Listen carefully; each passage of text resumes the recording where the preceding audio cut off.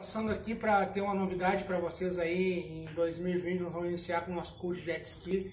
Ele vai ter em torno, né, o básico avançado de 20 a 40 horas.